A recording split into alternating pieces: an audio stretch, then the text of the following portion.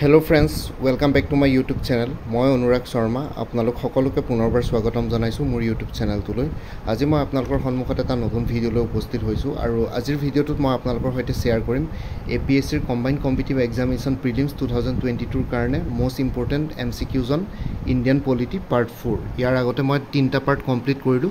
আজি চাৰি নম্বৰ পাৰ্টটো ষ্টাৰ্ট কৰিম আৰু বাকী আগৰ ৰিলেটেড ভিডিঅ'ছবোৰ ভিউ কৰিবৰ কাৰণে মই অলৰেডি এ পি এছ চিৰ combine competitive examination prelims two thousand twenty tour প্ৰস্পেক্টিভৰ ফালৰ পৰা মষ্ট ইম্পৰ্টেণ্ট এম চি কিউজৰ ভিডিঅ'জ অলৰেডি ষ্টাৰ্ট কৰিলোঁ। আছাম ষ্টাৰ্ট কৰিছোঁ প্ৰিভিয়াছ ইয়াৰ কুৱেশ্যন পেপাৰ দিছোঁ ইণ্ডিয়ান পলিটি ষ্টাৰ্ট কৰিছোঁ তেনেকৈ মই গোটেইবিলাক ছাবজেক্টছ এণ্ড টপিকছ কভাৰ কৰিবলৈ চেষ্টা কৰিম। তো আগৰ ৰিলেটেড ভিডিঅ'জবোৰ ভিউ কৰিবৰ কাৰণে এই ভিডিঅ'টোৰ ডেছক্ৰিপশ্যনত যোনটো লিংক দিয়া থাকিব A P S C C C prelims two thousand twenty two তাতে গৈ পেলাই আপোনালোকে আগৰ বা অন্য ৰিলেটেড ভিডিঅ'জবোৰ ভিউ কৰি চাব পাৰিব প্ৰিলিমছ ৰিলেটেড তো আহক এতিয়াৰ আজিৰ ভিডিঅ'টো ষ্টাৰ্ট কৰোঁ M C কিউজন Indian polity part four question number thirty one when was the first Lok Sabha constituted তো আমাৰ ভাৰতবৰ্ষৰ প্ৰথম লোকসভা কেতিয়া কনষ্টিটিউট কৰা হৈছিলে? তো অপশ্যনকেইটা দিয়া আছে option A nineteen fifty option B nineteen fifty two option C nineteen forty eight আৰু option D nineteen fifty one তো ইয়াৰে কাৰেক্ট এনচাৰটো হ'ব option B nineteen fifty two the first Lok Sabha constituted in nineteen fifty two question number thirty two when was the Indian constitution accepted তো ভাৰতৰ সংবিধানখন কেতিয়া accept কৰা হৈছিলে?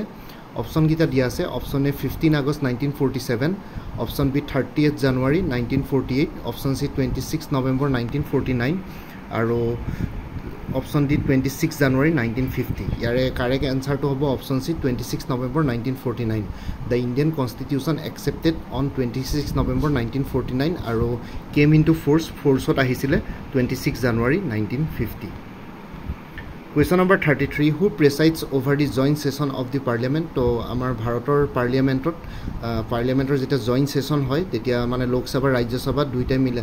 লোকসভাৰ ৰাজ্যসভাৰ একেলগে জইণ্ট ছেশ্যন যেতিয়া হয় তেতিয়া কোনে প্ৰিচাইড কৰে?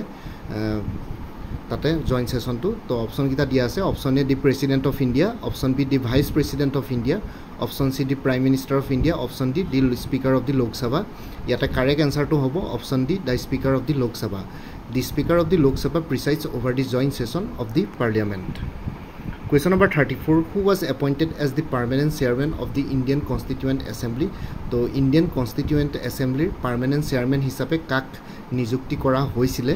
অপশ্যনকেইটা দিয়া আছে। Option A doctor Rajendra Prasad option B doctor B R Ambedkar option C Jawaharlal Nehru option D none of the above ইয়াতে correct এনচাৰটো option A doctor Rajendra Prasad ঠিক আছে doctor Rajendra Prasad was appointed as the permanent chairman of the Indian constituent assembly Question number 35. The main purpose of including the directive principles of state policy Indian in the Indian constitution is the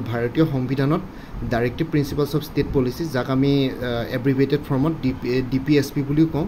তো কিহৰ কাৰণে include কৰা হ'ল? Main পাৰ্পজটো কি? Directive D P S P directive principles of state পলিচিটো ভাৰতৰ সংবিধানত include কৰা।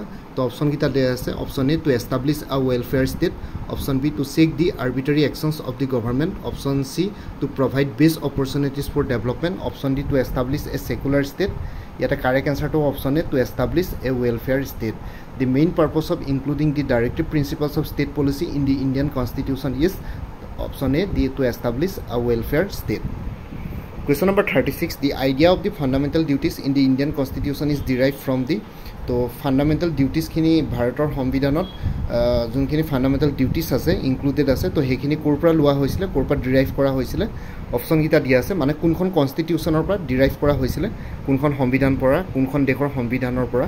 অপশ্যনকেইটা দিয়া আছে option A American constitution option B Russian constitution option C British constitution আৰু অপশ্যন ডি অষ্ট্ৰেলিয়ান কনষ্টিটিউশ্যন ইয়াতে কাৰেক্ট এনচাৰটো হ'ব option B Russian constitution the idea of the fundamental duties in the Indian constitution is derive from the Russian constitution question number thirty seven the first law officer of the government of India is তো আমাৰ ভাৰতীয় আমাৰ ভাৰতৰ যোনখন central government আছে তো ভাৰতৰ গভৰ্ণমেণ্টৰ চেণ্ট্ৰেল গভৰ্ণমেণ্টৰ ফাৰ্ষ্ট ল অফিচাৰ হিচাপে কাক জানো আমি the first law officer of the government of India কোন হয়?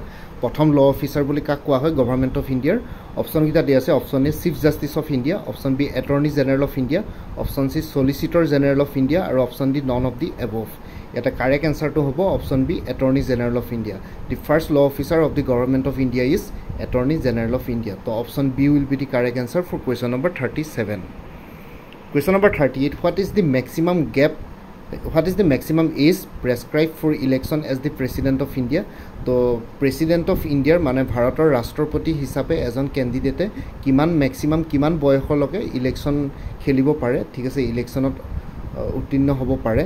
ঠিক আছে তো কিবা মেক্সিমাম এজ লিমিট আছে নেকি সেইটো সুধিছে কুৱেশ্যনত।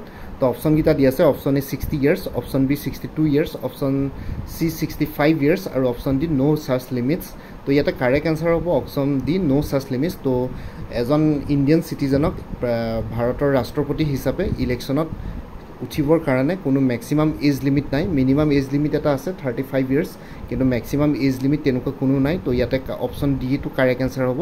No' such limits question number thirty nine which of the following is not appointed by the President of India তো ইয়াৰ ভিতৰত কোনজনক প্ৰেচিডেণ্ট অফ ইণ্ডিয়া মানে ভাৰতৰ ৰাষ্ট্ৰপতিয়ে এপইণ্টমেণ্ট নকৰে?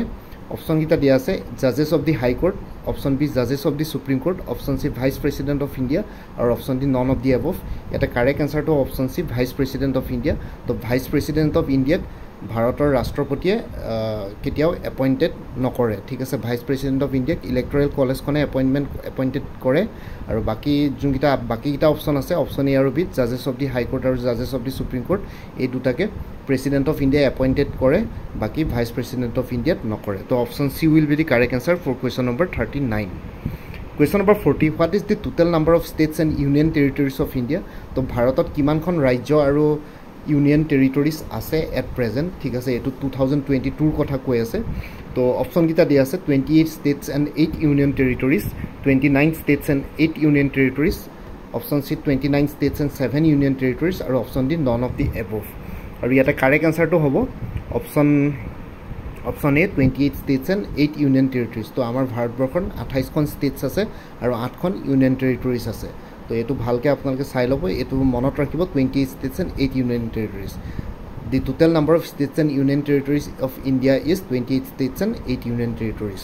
তো ইমানখিনি আছিলে friends Indian polity most important M C Qs on Indian polity part for for A P S C combined competitive preliminary examination two thousand twenty two next ভিডিঅ'টোত মই part ফাইভটো লৈ আনিম।